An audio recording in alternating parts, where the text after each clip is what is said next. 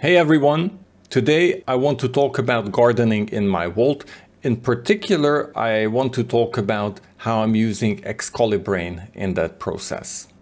Over the last couple of weeks and months, I've become more deliberate about the ontology of links that I create in my notes, and this is starting to shape how I'm using Obsidian. If the word ontology is not familiar to you, I was exactly in the same place a couple of months ago. I heard it being used in this sort of context, but I never took the effort to understand what it means. An ontology is a set of concepts and categories in a subject area that shows their properties and the relations between them. So for example, in case of today's video, I'm going to be using my book page for building a second brain as an example.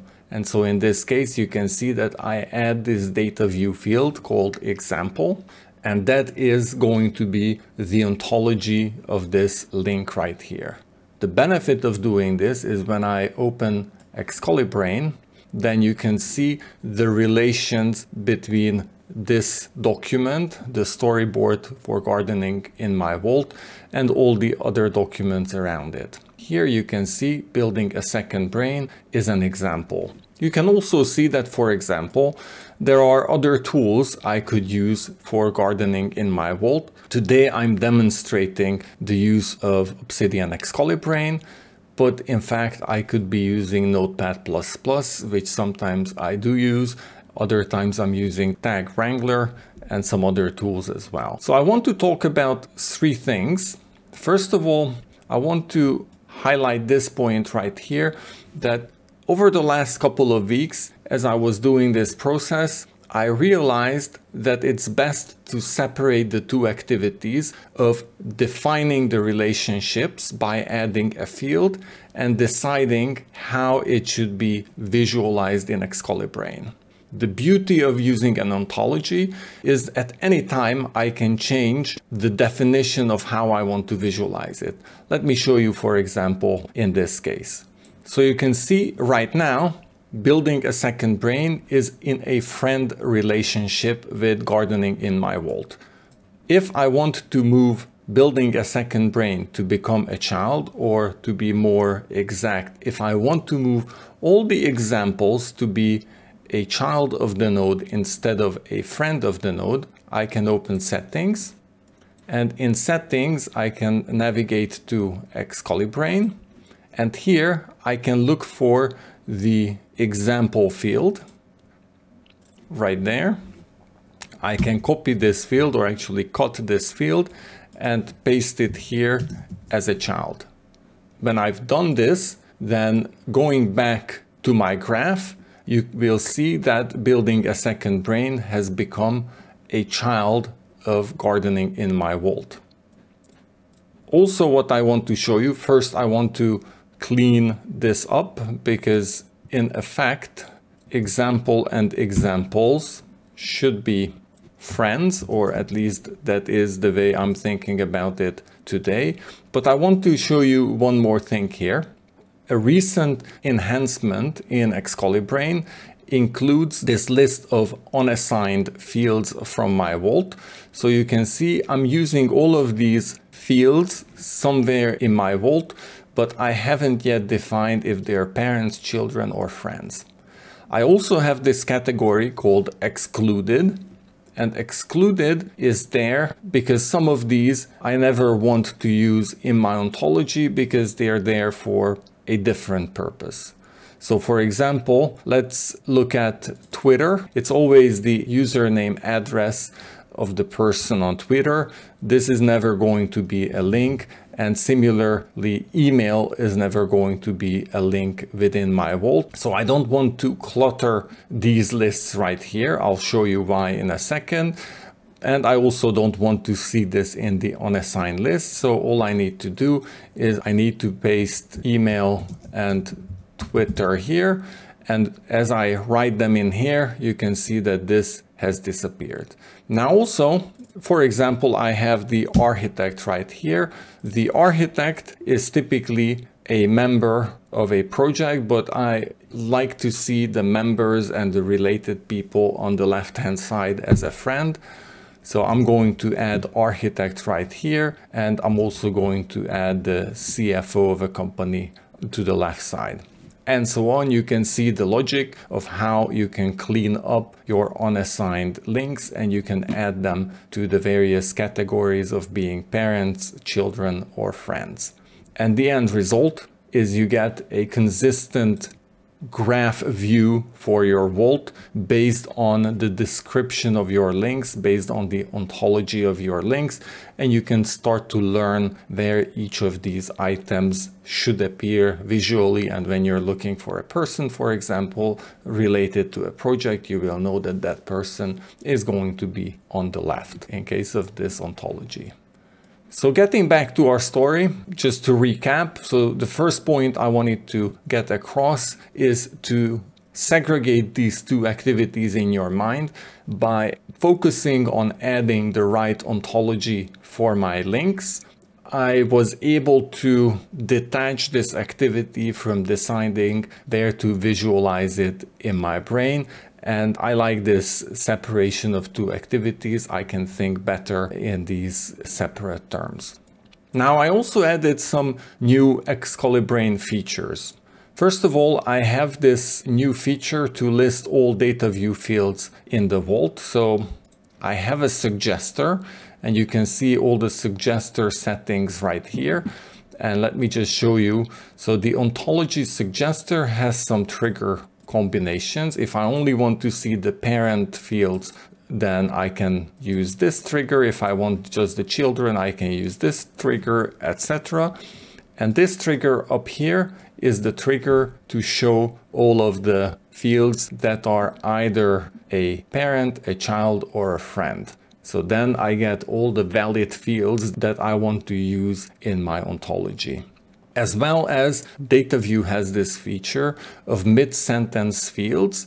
And the way you can create it, that you can use one of these two brackets and depending on which one, it has a slightly different look and feel. I like this bracket right here. You can add a Dataview field in the middle of a sentence. So let me show you how all of this looks like when we come to our example. If I click here, and open my book page for Tiago's book, then you can see that here I'm using some of these capabilities. So in this interview with Scott Young, Tiago talks about this idea of writing is thinking and the second brain is not only about remembering stuff, but it's actually the act of writing stuff down that those thoughts are clarified in your head.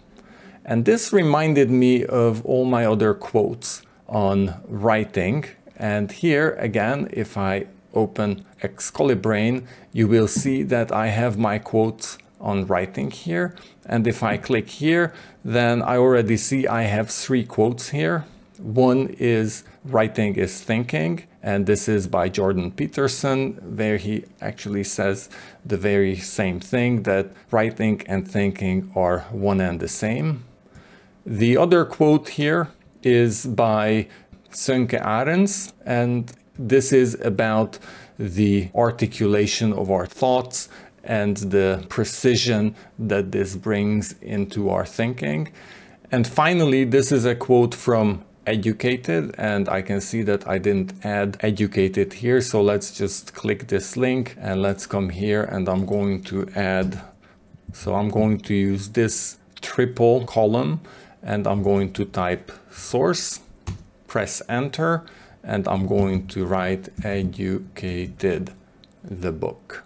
And with that, I have already added the book that it comes from as there you go, the book that this quote comes from on this graph. Now moving back to quote some writing and moving back to building a second brain, let's continue on how I'm using the ontology on this page. So later I write Tiago's thinking and the content of the book was heavily inspired by, and then you can see Zettelkasten and getting things done.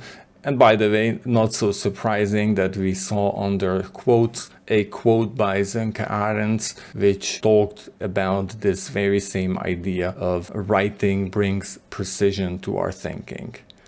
And then finally here, this is another podcast with Tiago. Here he talked about his fascination with lean manufacturing and the link to personal knowledge management. And here I have this mid-sentence field or link related to lean. And with that, again, you can see here that I will see lean right here.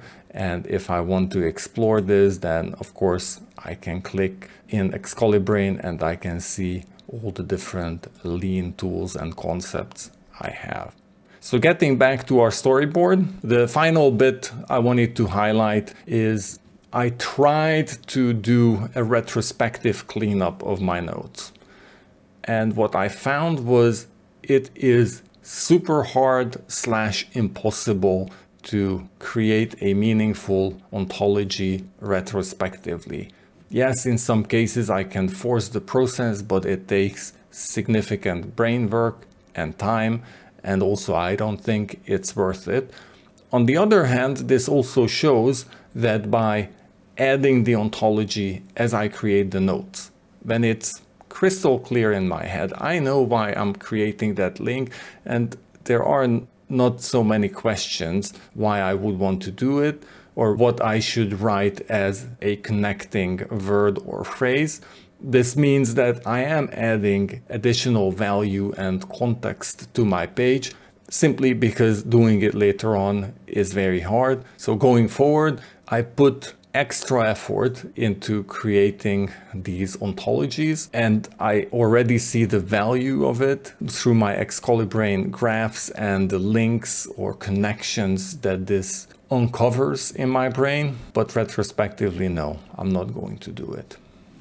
So there were some final small bits and pieces I wanted to show you before closing today's video. And let me just go back to our example page where I can show you these things. So one thing I wanted to show you is if you come across a new relationship, maybe this is this contradicts and you can say something. So what you would expect is contradicts now appears here in the unassigned list and there you go. So there's contradicts right there, but there's a better way as well. So when I'm creating contradicts and I have an idea if I would want this to be a parent, a friend, or a child. I can also bring up the command palette and let's say I want to make this a friend then I can here click add Dataview field to ontology as friend. And if I do this, then you can see added contradicts as a friend. I can already show you here that this book contradicts something. And if I open settings, of course, not a big surprise, you will see contradicts right here in the list. The other bit I wanted to show you is I added this switch down here that you can add the selected field from the suggester in bold or you can add it in normal. Right now it's turned on to be bold. Bold means that these field names when I add them so you can see that this contradicts now is not bold but if I would now bring up my suggester and hit enter because I have that setting. The field name is added in bold and this just makes it maybe visually more easy to read the text because you will see the Dataview fields with bold, those Dataview fields that you created with the setting turned on. Getting back to our summary page, today I talked about gardening in my vault using ExcaliBrain and I explained what an ontology is. We looked at an example, my book page for building a second brain. We talked about the value of separating the two activities, adding the ontology and then thinking about how you should visualize it later. I showed you some of the new features in ExcaliBrain. And finally, I mentioned this process of retrospective cleanup being super hard. I'm not doing it. On the other hand, for me, there's a message in it being super hard, which is if I do it up front, I am adding real new value to my vault. So that's all I wanted to share with you today. Until next time, thank you.